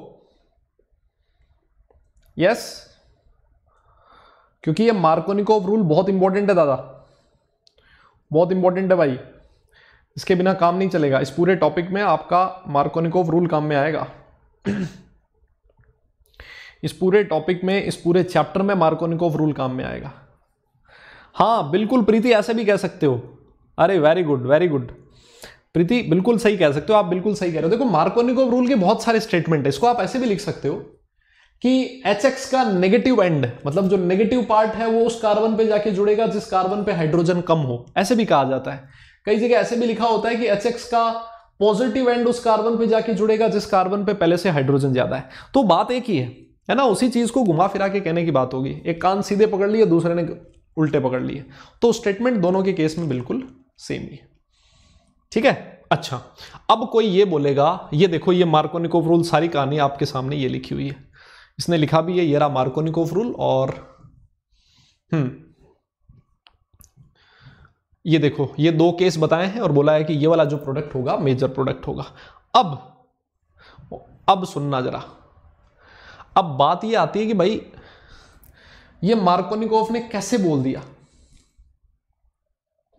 हाँ जी। ये मार्कोनिकोव ने कैसे बोल दिया कि हाइड्रोजन यहाँ लगेगा हेलोजन यहाँ लगेगा? ऐसे तो है नहीं उसको। रात को सपना आया, बोले, सुबह उठा और कहा कि ले भाई मतलब हाइड्रोजन यहाँ लगा दो हेलोजन वहाँ लगा दो प्रोडक्ट बन गया। ठीक है?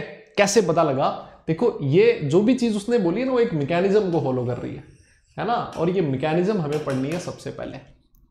ऑल राइट right, तो देखो जरा मैकेनिज्म मैं आपको बता देता हूँ इस रिएक्शन की। बहुत सिंपल है। क्या करो? देखो सबसे पहले स्टेप में क्या होता है? जो आपका एचबीआर है ना वो टूटेगा और वो एच प्लस और बी आर माइनस में डिसोसिएट हो जाएगा। ठीक है? एच प्लस और बी आर माइनस में। और ये जो एच प्लस है ये क्या है एक तरह का? इलेक्ट्रोफाइल है। H प्लस क्या है एक? इलेक्ट्रोफाइल है। क्यों? क्योंकि इसको इलेक्ट्रॉन की ज़रूरत है। ऑब्वियस है। है ना? इस पर पॉजिटिव चार्ज है, इसको इलेक्ट्रॉन चाहिए। तो ये वाला एक इलेक्ट्रोफाइल है। अच्छा। अब सुनना भाई।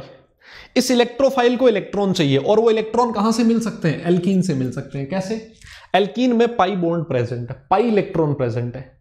और आपको पता है कि पाई बॉन्ड तो वीक बॉन्ड होता है, पाई बॉन्ड आसानी से टूट सकता है और उस पाई बॉन्ड के इलेक्ट्रॉन है वो एच प्लस को मिल सकते हैं, बिल्कुल मिल सकते हैं। दो पॉसिबिलिटी है। अरे सुनना मेरे भाई, दो पॉसिबिलिटी हो सकती है। कौन कौन सी? देखियो जरा।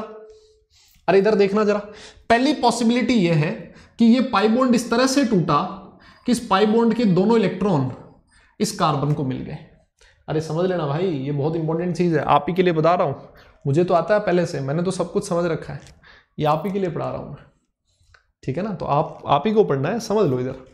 ये वाला पाई बॉन्ड टूटा और इस बॉन्ड के दोनों इलेक्ट्रॉन इस कार्बन को मिल गए। तो इस कार्बन पे चार्ज आएगा नेगेटिव इस कार्बन पे चार्ज आएगा पॉजिटिव और ये जो नेगेटिव है, इसके साथ H प्लस जुड़ जाएगा तो C H three C H plus C H three बन जाएगा, देखो।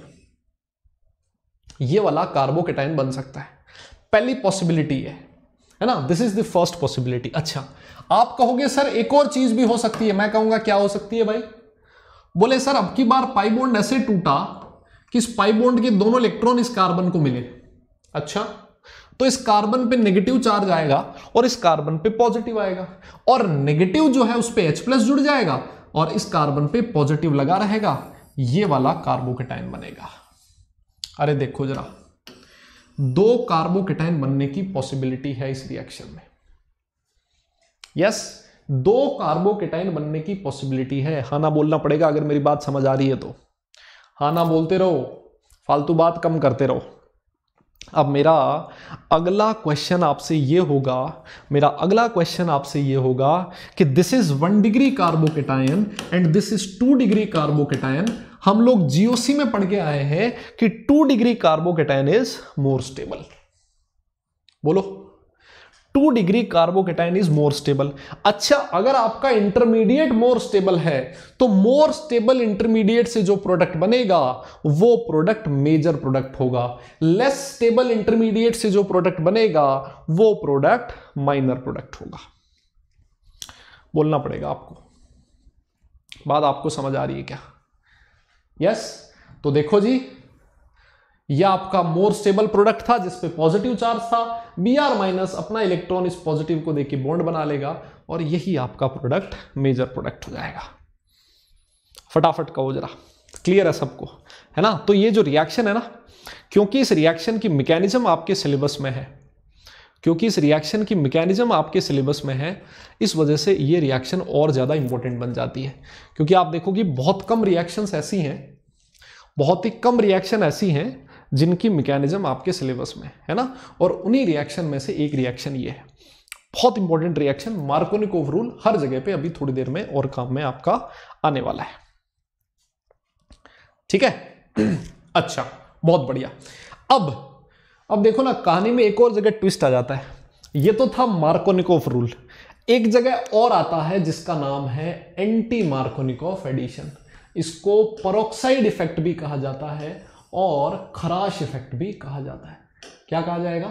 परोक्साइड इफ़ेक्ट या फिर खराश इफ़ेक्ट भी कहा जाएगा। सुनना जरा, ये क्या होता है? परोक्साइड इफ़ेक्ट या फिर खराश इफ़ेक्ट क्या होता है? देखो जरा, आपके सामने रिएक्शन लिखी है और फिर इस रिएक्शन की हेल्प से मैं समझाने वाला देखना जरा। अनसिमेट्रिकल एल्कीन लिखी है है ना? ये परोक्साइड आपका मार्कोनिकोफ एंटी मार्कोनिकोफ ये काम तभी आता है जब आपका एल्कीन अनसिमेट्रिक हो। सिमेट्रिक एल्कीन में तो कोई लफड़ा ही नहीं अनसिमेट्रिक एल्कीन के केस में ही हमें चेक करना होता है। अच्छा उसकी रिएक्शन आपने एच के साथ करवा दी, आप पिछली बार भी करवा देते एच के साथ बट अब की बार आपने एचबीआर के साथ रिएक्शन करवाई in the presence of a peroxide क्या करवाई? In the presence of peroxide अब बात ये आती है बात ये आती है कि भाई ये परोक्साइड क्या होता है? परोक्साइड क्या होता है? देखो, ये जो लिखा हुआ है ना, इसको मैं ऐसे लिखूँगा, ये ऐसी चीज़ है। ये लिखा हुआ है। जो इतनी बड़ी कहानी आपके सामने लिखी है ना, ये ये लिखा हुआ है। और इसमें देखो ऑक्सीजन ऑक्सीजन सिंगल बॉन्ड है। जहाँ पर ऑक्सीजन ऑक्सीजन सिंगल बॉन्ड होता है ना, उसको परोक्साइड बॉन्ड कहा जाता है ना? उसको परोक्साइड लिंकेज कहा जाता है।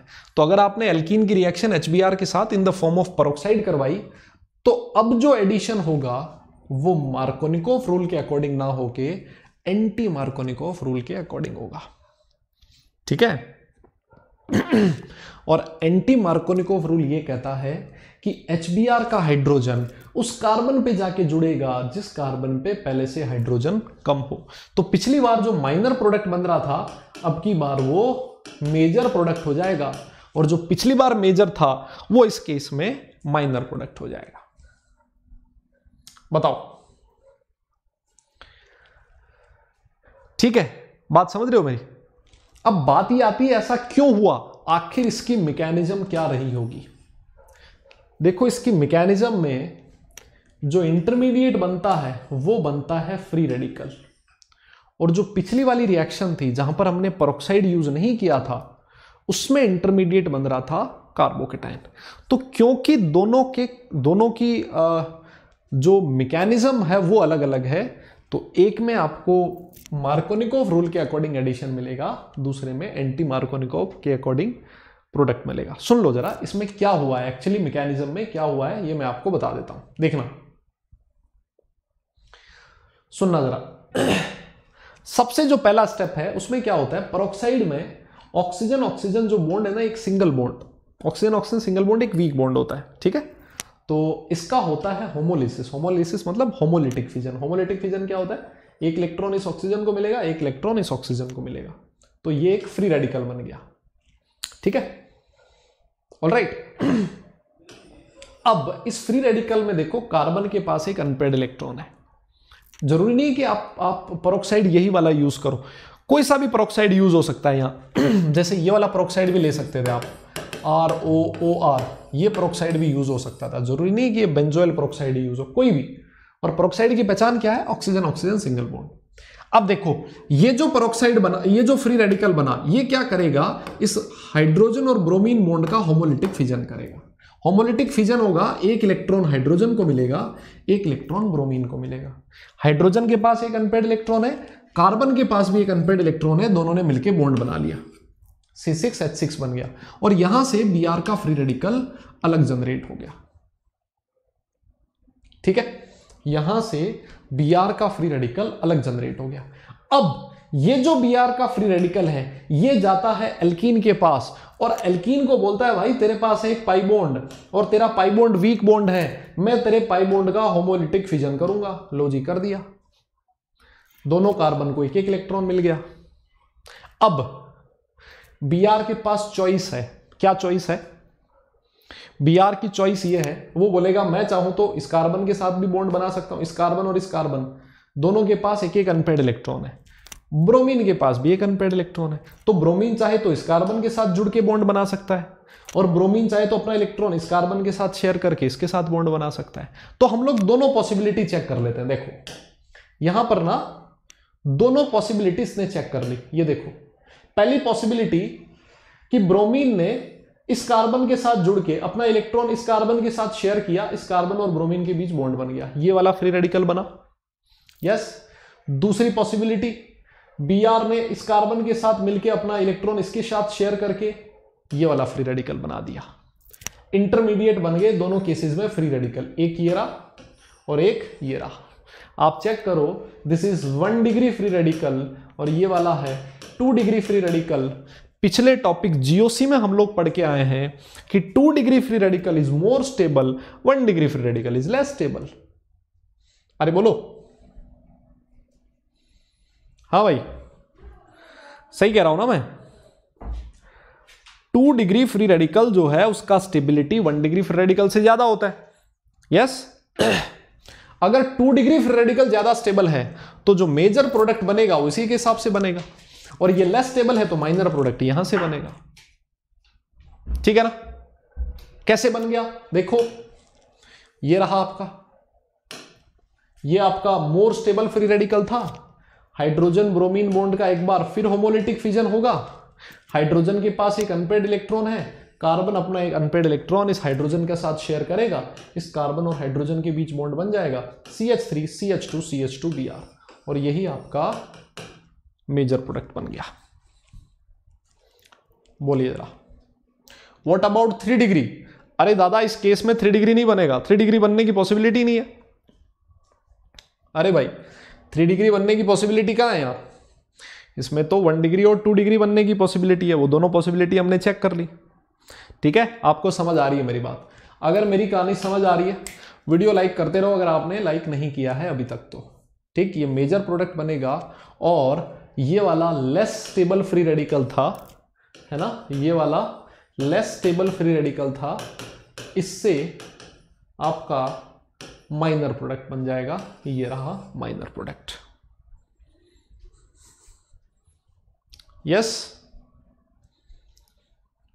हम्म तो ये थी इस रिएक्शन की मैकेनिज्म और दोनों ही रिएक्शन में एक तो था एचबीआर दूसरा था एचबीआर के साथ परोक्साइड जब सिर्फ़ एचबीआर था तो मार्कोनिकोव रूल के अकॉर्डिंग प्रोडक्ट बन रहा था। जब एचबीआर के साथ परोक्साइड है तो एंटी मार्कोनिकोव रूल के अकॉर्डिंग प्रोडक्ट बनेगा। एक चीज़ हमेशा ध्यान रखो परोक्साइड इफ़ेक्ट सिर्फ़ और सिर्फ़ एचबीआर के साथ ही लगता है। है ना? परोक्साइड इफ़ेक्ट सिर्फ़ और सिर्फ़ एचबीआर के साथ ही काम कर आने वाला है। आप चेक कर लेना बोले हाँ जी। देखो H2SO4 सल्फ्यूरिक एसिड का जो एडिशन होगा, वो होगा अकॉर्डिंग टू मार्कोनिकोफ रूल बहुत simple according to Markovnikov rule आपको एडिशन करवा देना है. ये देखो, आपके सामने एग्ज़ाम्पल भी लिखा हुआ है. ये रहा. ये एग्ज़ाम्पल लिखा हुआ. दो एग्ज़ाम्पल आपके सामने लिखे हैं. ये है सिमेट्रिकल एल्कीन है ना?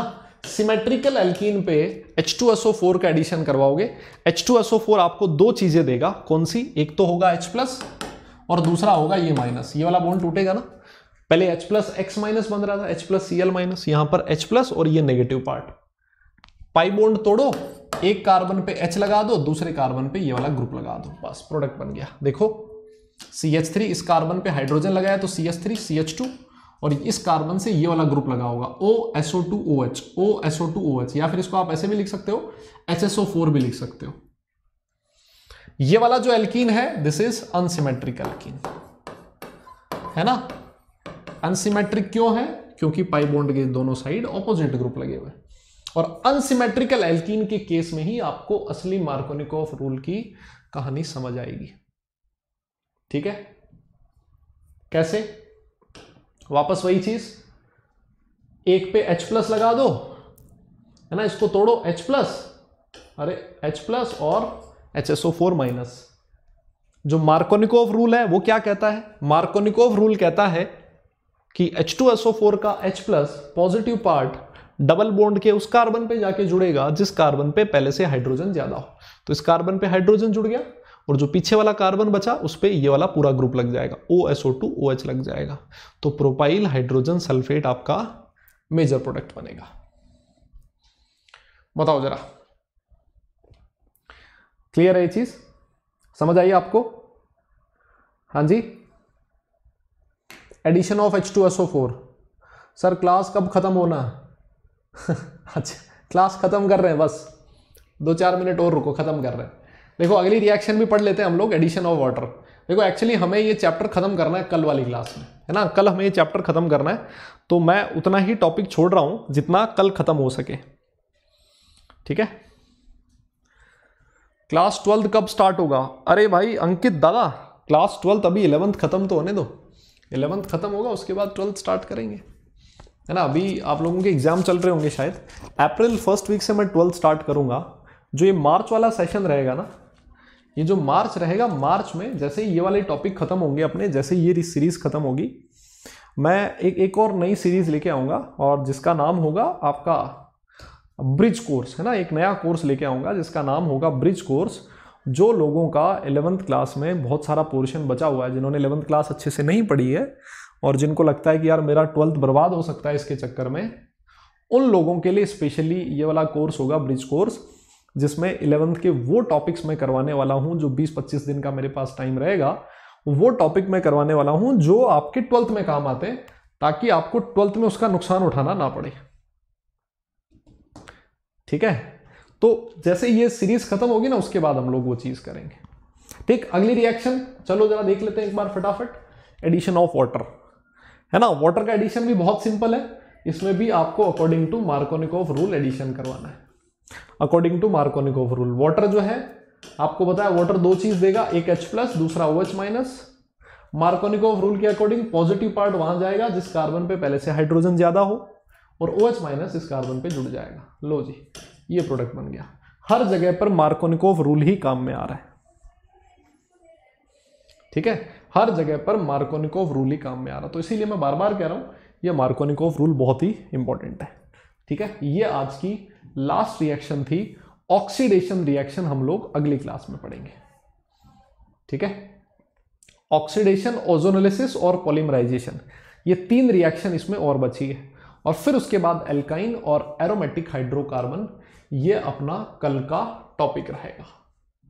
ठीक है? आज के लिए बस हम लोग इतना ही करेंगे। बताओ जरा।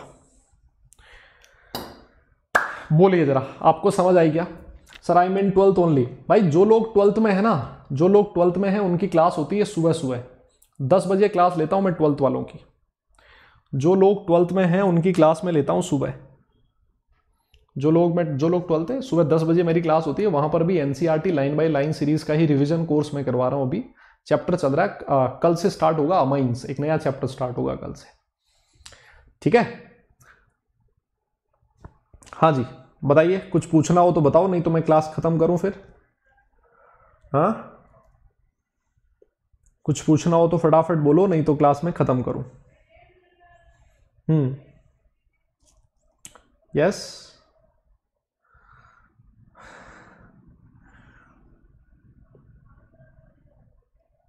नहीं? अच्छा। चलो, ठीक है। हाँ जी, सुनो जरा। तो कल कल ये वाला जो चैप्टर है आपका, कल ये चैप्टर खत्म हो जाएगा, ठीक है? और हम लोग नया चैप्टर कल के बाद स्टार्ट करेंगे एस ब्लॉक एलिमेंट्स तो अब मुझे तीन टॉपिक और करवाने हैं actually S block elements P block elements और हाइड्रोजन जो इनऑर्गेनिक केमिस्ट्री वाला पोर्शन है, सिर्फ़ वो करवाना है। और उसके साथ ही ये जो पूरी सीरीज़ है, जिसको NCERT line by line crash course नाम दिया गया ये पूरी सीरीज़ खत्म हो जाएगी। ठीक है जनाब? चलिए, अगर आप अन अकेडमी प्लेटफॉर्म पर भी मेरी क्लासेस अटेंड करना चाहते हैं तो इस वीडियो के डिस्क्रिप्शन में मेरी अन अकेडमी प्रोफ़ाइल का लिंक दिया है। मैं चाहूँगा आप सारे लोग मुझे अन अकेडमी पर फॉलो करें, ताकि जितनी भी मेरी फ्री लाइव क्लासेस होती हैं अन अकेडमी प्लेटफॉर्म पे, उन सारी क्लासेस को आप अटेंड कर पाएँ। और अन अकेडमी प्लस प्लेटफॉर्म पे भी मेरे बहुत सारे कोर्सेज हैं, अगर आपने अन अकेडमी सब्सक्रिप्शन नहीं ले रखा है तो फटाफट सब्सक्रिप्शन ले लें, अगर आप मेरे साथ ट्वेल्थ का पूरा केमिस्ट्री का कोर्स करना चाहते हो। आपके सामने मेरा कोड लिखा हुआ है R D ten Unacademy subscription के लिए मैं आपसे चाहूँगा कि आप मेरा कोड यूज़ करें आर डी टेन इस कोड को यूज़ करने पे 10 परसेंट डिस्काउंट के साथ साथ आपको एक चीज़ ये भी पता है कि मैं हर एक स्टूडेंट को एक मेरी तरफ़ से स्टडी किट बिल्कुल फ्री ऑफ़ कॉस्ट प्रोवाइड करता हूँ if you use my code R D ten ठीक है? तो चलिए आज के लिए इतना ही करते हैं, अगली क्लास में मिलते हैं। तब तक सारे लोग अपना ख्याल रखें, खुश रहें, मस्त रहें, हँसते मुस्कुराते रहें बट पढ़ाई ज़रूर करते रहें। Bye bye good night